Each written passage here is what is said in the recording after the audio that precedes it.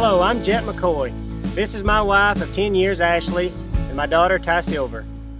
Even after traveling to 20 countries around the world and having been to almost all 50 states, I'm proud to call Oklahoma my home.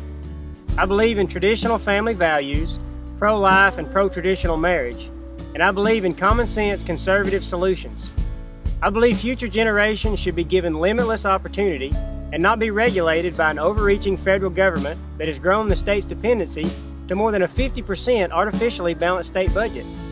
Forcing children into a one-size-fits-all program infringes upon the parental decision-making process, attempts to limit each child's creativity, and it just doesn't make sense.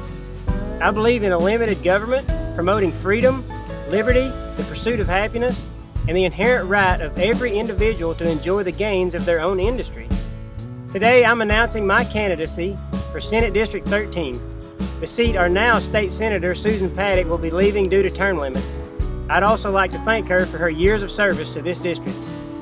From agriculture to education, enterprise, and energy, our state and district have an incredible opportunity to grow and be the number one example of how government should function.